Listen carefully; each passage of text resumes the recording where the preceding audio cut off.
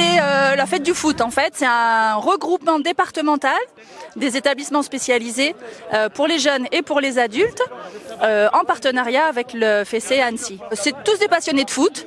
Ils sont pas tous des bons joueurs de foot. Il y en a. Il y en a qui sont pas capables de jouer en équipe parce que c'est trop compliqué par rapport à leurs problématiques. C'est pour ça qu'on a fait aussi des ateliers euh, adaptés sur lesquels ils sont tournés ce matin. Alors le but de cette journée, c'est de rencontrer plusieurs personnes dans...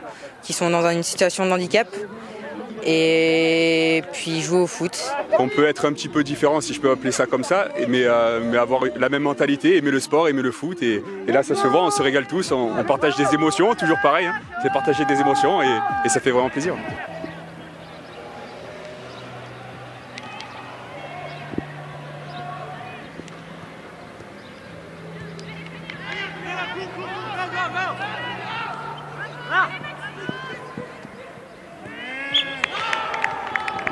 Bah, marquer, marquer plein de buts à ce moment. Est-ce que je suis un, je un pro de foot? Ben, Le match là, c'est bien passé, mais on a perdu un, mais bon, c'est encore un jeu. Hein. Ouais, on les accompagne sur le terrain. Il y en a, ils sont coach, il y en a, ils sont joueurs. Il y en a, ils font joker avec les deux équipes. Franchement, on prend du plaisir. On prend du plaisir avec les enfants.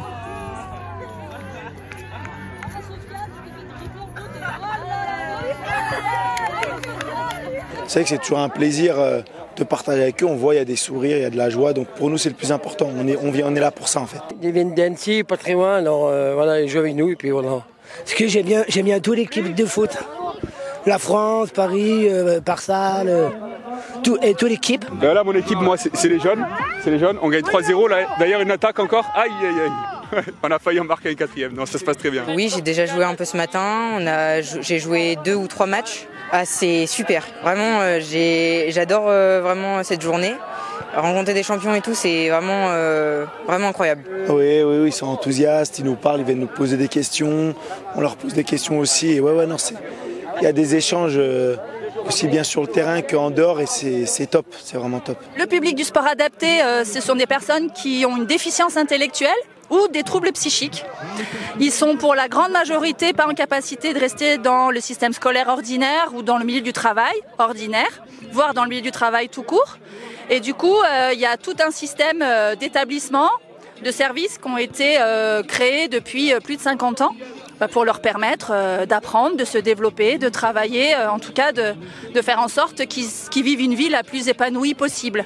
Et nous, on essaye de développer l'offre sportive pour qu'ils puissent, comme tout le monde, aller dans un club de sport euh, le soir après le travail, faire des rencontres, euh, faire de la compétition pour ceux qui ont envie et qui en ont les moyens.